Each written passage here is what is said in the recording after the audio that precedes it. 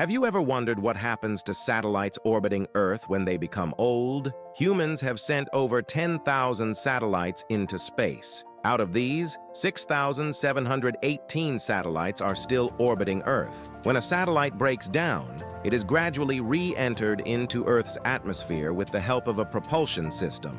Lighter and smaller satellites burn up completely during re-entry, while larger and heavier satellites are directed to Point Nemo in the Pacific Ocean.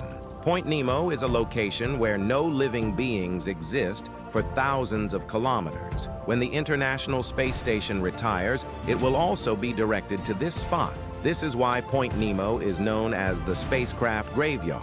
However, not all satellites have propulsion systems, and not every country is willing to bear the cost and effort of deorbiting them. As a result, these old satellites become space junk, posing a significant threat to future satellites.